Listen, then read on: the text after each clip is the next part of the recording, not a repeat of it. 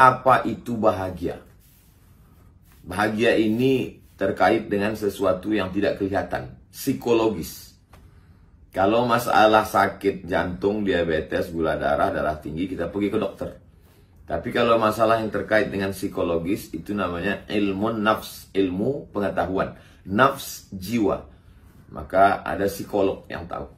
Apa kata orang psikologi? Psikologi tentang bahagia. Mereka definisikan kalau bahasa Arabnya asy'uru bil itmi'nan. Rasa tenang, itulah bahagia. Jadi yang mau dicari orang dalam hidup ini adalah asy'uru bil itmi'nan, rasa tenang. Kenapa orang anak-anak muda itu kenapa dia pacaran? Kalau ditanya mau teman curhat Ustaz, mau cari ketenangan. Kenapa orang mesti punya duit? Saya kalau punya duit ini tenang Ustaz. Kenapa orang mohon maaf pergi ke diskotik? Saya capek lelah kerja, saya mau ke karaoke, saya mau menikmati uang saya, mau tenang. Semuanya hidup mau tenang. Kenapa orang ke gunung? Mau tenang. Kenapa menyelam? Mau tenang. Kenapa orang naik motor? Riding. Semuanya ingin asyuru bil itminan. Mau mencari ketenangan. Nah, jadi, lalu bagaimana dengan ajaran Islam? Apa itu bahagia? Maka kalau kita lihat dalam hadis Nabi Shallallahu Alaihi Wasallam ada dalam Sahih Al Bukhari, man asbaha minkum aminan fi sirbihi Siapa yang di awal harinya, paginya, bangun tidur, aminan fi sirbihi, jiwanya tenang. Nah, jadi memang, kenapa ada kesesuaian antara ajaran Islam dengan psikologi? Al-hikmatu dallatul mu'min. Hikmah itu milik orang beriman. Aina wajadaha fahuwa ahaqqu biha. Di mana pun dia menemukannya, berarti itu milik dia. Mohon maaf, nauzubillah kalau cincin saya ini hilang Lalu saya ketemu di jalan, dipegang orang. Saya kenal cincin ini, saya tahu. Maka saya katakan, itu milik saya. Betul itu milik saya. Mohon maaf Ustaz, tadi saya ketemu di jalan. Nah, ya milik saya. Jadi hikmah itu milik orang beriman. Di mana pun dia dapati, maka dia mengamalkannya. Walaupun dipegang oleh seorang psikolog, ilmu ilmu jiwa, maka sesungguhnya itu punya kita. Maka ketenangan dalam hati. Apa yang membuat tenang? Ah, ini lagi. Setelah kita tahu bahwa bahagia itu adalah tenang, yang membuat tenang itu apa? Tidak sama semua orang. Yang satu yang membuat dia tenang itu kalau hujan. Saya kalau hujan Pak Ustadz saya tenang sekali. Kalau yang satu enggak. Saya yang buat saya tenang itu kalau panas. Kenapa bisa berbeda? Sama-sama manusia, kenapa yang satu kalau hujan dia tenang, yang satu kalau panas dia tenang? Ternyata yang bilang kalau hujan ini saya tenang, dia nanam kelapa sawit. Kelapa sawit kalau hujan buahnya bagus. Yang bilang kalau saya panas saya tenang, dia nanam karet. Karena kalau habis karet itu, batang karet itu dipotong, ditakik kata orang Melayu. Turun hujan, habislah cair semua. Tak ada bisa besok untuk dipanen. Orang yang sama, tinggal di tanah yang sama, standarnya standar bahagianya berbeda. Yang satu kalau udah panas, aduh senang sekali saya panas. Yang satu kalau udah hujan, kalau udah panas, aduh. Kenapa dia senang panas? Dia jual es krim. Dia jual es buah. Tapi yang satu kalau udah hujan, senang sekali dia. Karena kebetulan dia bercocok tanam. Jadi, kenapa orang mendapatkan ketenangan yang berbeda? Karena motivasi yang berbeda. Karena ada background background yang berbeda, back belakang, ground latar belakang yang berbeda. Apa yang menenangkan hati pedagang? Modal serendah-rendahnya dengan untung setinggi-tingginya.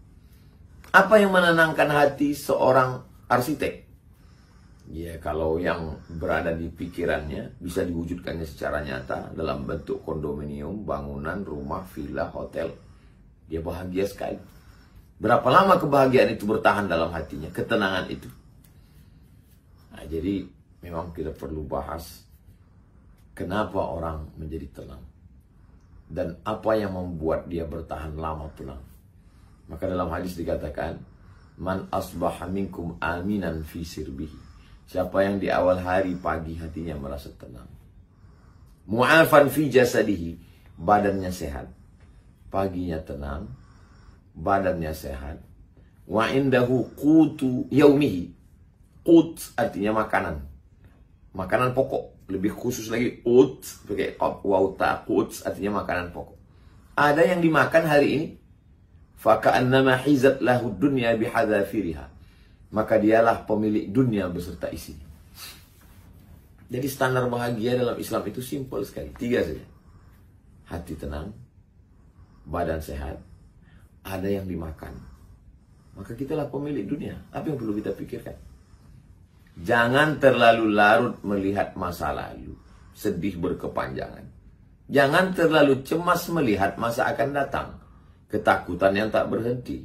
Memicu asam lambung naik darah tinggi, jantung koroner, gula darah, detak jantung, emosi tidak stabil. Nikmati saja yang ada sekarang. Bangun tidur, Alhamdulillahilladzi ahyana ba'da ma amatana wa ilaihi nusyur. Lihat, Alhamdulillah badan sehat.